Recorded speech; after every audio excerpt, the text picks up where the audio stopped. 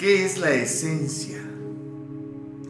La esencia es aquello que te hace exclusivo, único, irrepetible, singular, que te hace ser aquello que verdaderamente eres y sin lo cual no serías. Dios nos crea de una manera única, irrepetible y esencial. Dicen por ahí que Dios no utilizó moldes para hacer al ser humano. A cada uno lo hace con sus propias manos, único, irrepetible, con virtudes, con defectos, perfectible, pero esencialmente uno. ¿Cuál es tu esencia? ¿Sabes qué es tu esencia? ¿Qué es lo que te hace ser lo que eres y no ser alguien más? Y hoy toco el tema de la esencia porque se me hace muy importante revisarlo a partir de todo lo que estamos viviendo en estos tiempos.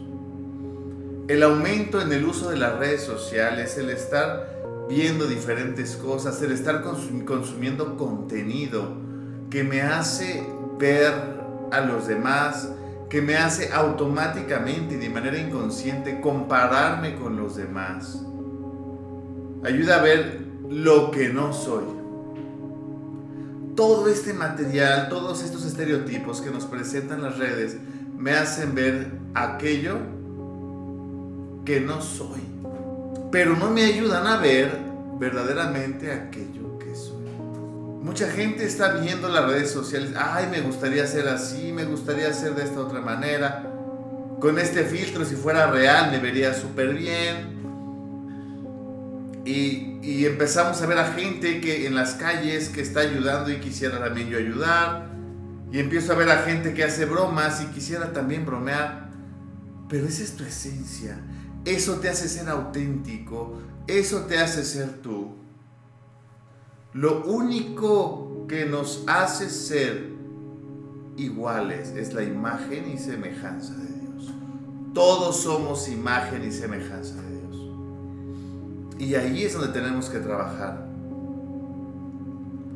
Por eso hoy yo quisiera que hiciéramos un alto para descubrir cuál es tu esencia, dónde está tu esencia, cómo, eh, cómo fuiste creado verdaderamente y que fueras al origen.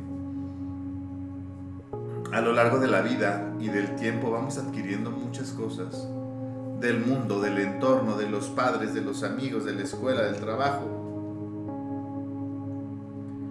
Y muchas cosas nos ayudan a descubrir quiénes somos, pero muchas otras nos ayudan a imitar y a ser como las otras personas, sin considerar lo que verdaderamente soy yo. Hoy vivimos en una lucha por entrar en estereotipos. Vivimos esclavos de unas modas, de modas que si no entro en estos estándares que me presentan los medios, no soy, no existo, no estoy satisfecho.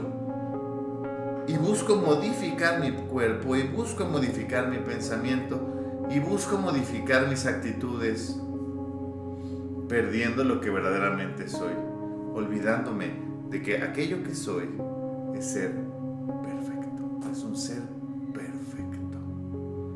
Yo te invito a que hoy te detengas, des gracias a Dios por lo que eres y te contemples con el amor y la misericordia con el que Dios te ve.